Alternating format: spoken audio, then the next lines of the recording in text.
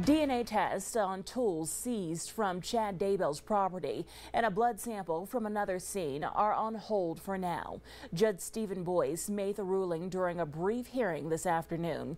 Prosecutors agreed to halt consumptive testing as they work with the defense on stipulations regarding the evidence. Chad Daybell and Lori Vallow Daybell are charged with conspiracy to conceal or destroy evidence in connection with the deaths of Joshua J.J. Vallow and Tylee Ryan.